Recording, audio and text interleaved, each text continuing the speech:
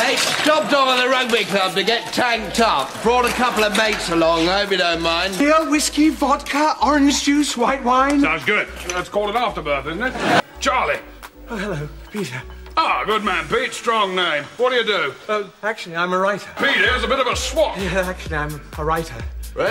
Anything I might have read? Well, I've just written a biography of George Bernard Shaw. You might have Oh, George Bernard Shaw a knife and a fork and a blue tits quill. He wrote a play on a prosy's back, swapped his knife for a Johnny and changed his name to Jack Bernard Shaw went to Brazil with a Johnny and a fork and a blue tip quill. He wrote two plays on a tour, swapped the fork for a monkey, and changed his name to.